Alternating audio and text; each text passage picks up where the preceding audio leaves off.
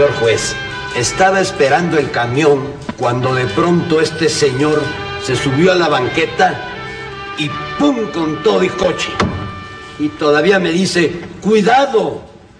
Sí, porque iba yo para atrás, porque me quedé incrustado en un árbol. Le juro, señor juez, que fue sin querer.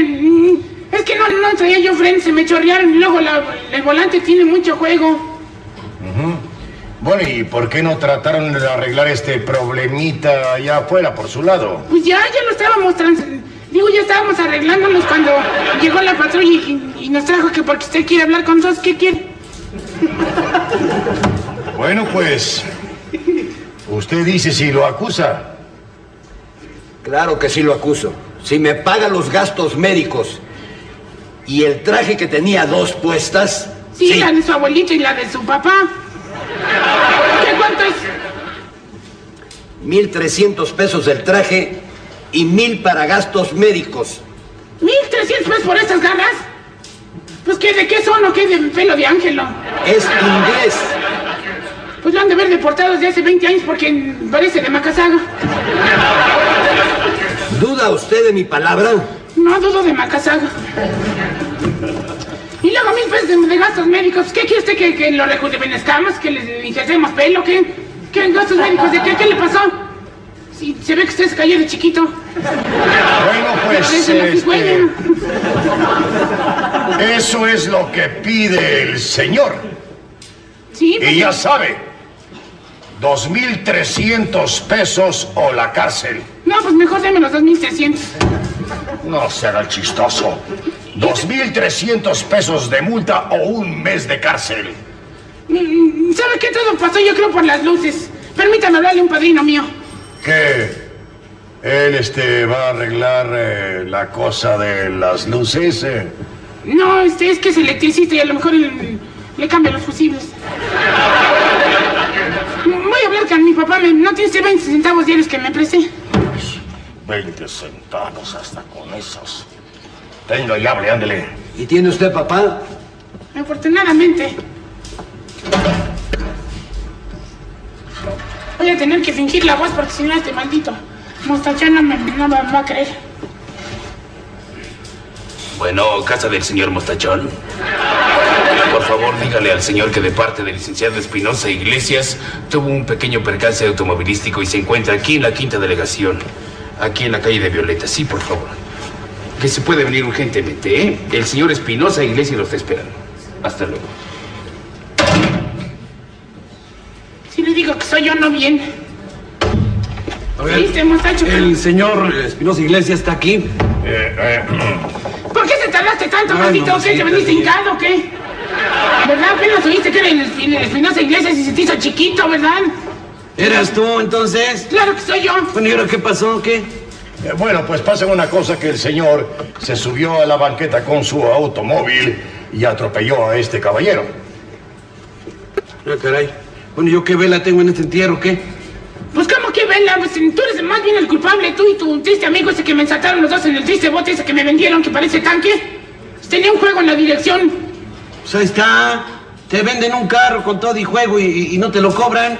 Y te enojas todavía. En el juego dice que se dan muchas vueltas y la- las ruedas no, no obedecen. Me metí el frin, se me chorreó hasta rompí la lámina que estaba toda pues aguada ahí por, por la oxidad y me, me respeto del talón y de, de todos modos me llevé aquí al señor. Ya ves, por no tener cuidado. ¿Cómo no se te van a chorrear los frenos? Pero es que me subí en la banqueta, fue cuando agarré aquí a al señor.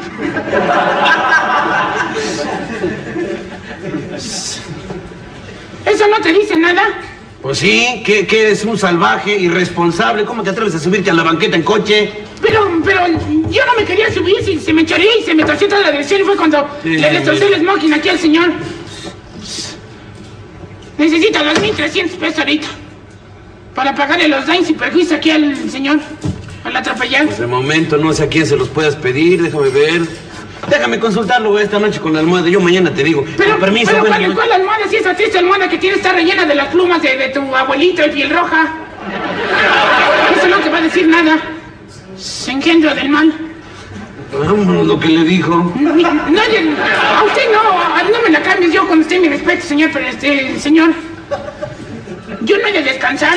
triste arpía, hasta que no te veo yo en un circo. Vámonos. A ti te estoy diciendo, mostachón. No he de descansar hasta que no te yo en un circo convertido en hombre serpiente y diciendo, por una maldición del mostachón, me convertí en culebra. Y desde entonces me arrastro. ¿Y luego tú qué le contestaste? No, ningún que le conteste un pensamiento mío. Y si vienes ahí, a lo mejor te arrastras. Pero ya te he de llevar, te he de llevar en tu milpita. Métame la cáncer, señor. Por favor. Yo de aquí de mono ya puras leguminosas cotiledones. ¿Qué es eso? Puras habas. Bueno, ya, ya está bien, ya está bien. Señor juez, yo me hago cargo de toda esta situación. Si el señor me tiene confianza, que me sirva a acompañarnos, por favor. De alguna forma vamos a llegar a algún acuerdo. ¿Está usted de acuerdo? Por Dios, mostachón. Lo veo y no lo creo. ¿De veras, mosta? Condenadote.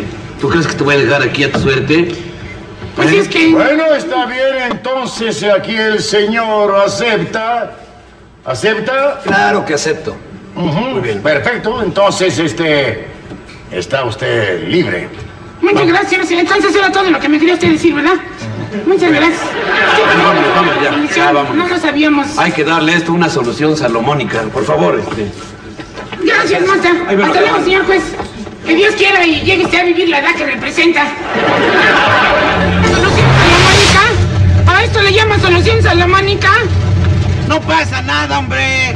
Ya que no hay dinero, la única forma de dejar tranquilo a ese pobre señor es dejarlo que se desquite. Así es padre, hombre. Parece como, como una venganza así italiana de película. ¿Eh? Ándale ahí nomás a ti. Pero, pero, ¿cómo se va a vengar si el señor... ¡Órale, joven! Nomás un rozoncito, ¿eh? No me lo vaya a lastimar porque no lo tengo en el seguro social. No nada, hombre. Es que se desquite, pobrecito. Pobrecito, si el señor ya vivió, ya está más para allá que para acá. Yo todavía no he vivido, man, y quieren, me quieren atropellar. Tú nomás cierra los ojos.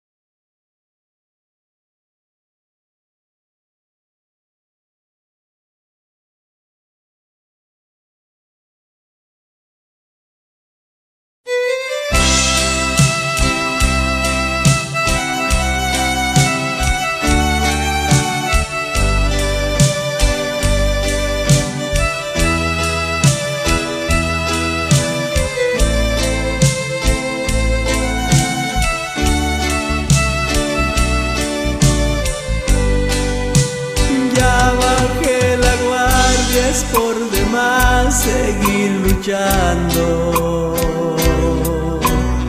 Hoy lo he decidido, yo me marcho de tu lado. Hace tiempo que cambiaste, que para mí ya no eres la misma.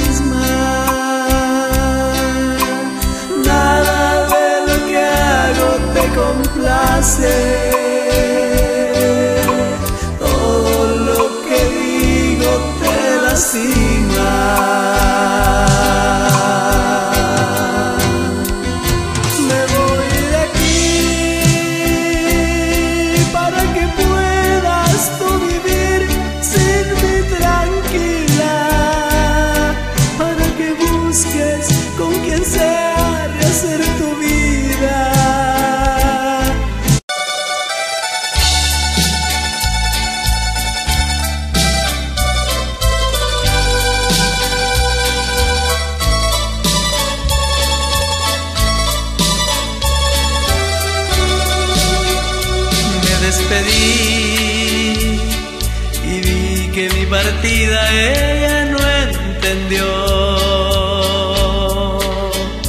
Pues preguntó y yo en ese momento no le di explicación. No fue por mí, fue por ella que yo tuve que partir.